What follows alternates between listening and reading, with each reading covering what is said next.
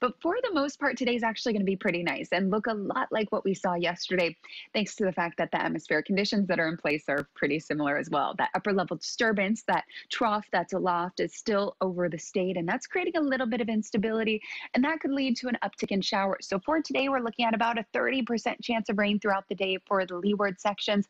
Our trade winds still here and going to be blowing strong up to 20 miles an hour. Rainfall wise, we have seen a few spotty showers for the windward sections, some of which did leeward this morning, but the bulk of the rainfall has definitely maintained been maintained for the most part over the windward areas and not seeing anything heavy or widespread right now. So great news on that front, waking up to a beautiful dry start to the day. Partly to mostly cloudy conditions forecast windward, partly to mostly sunny leeward.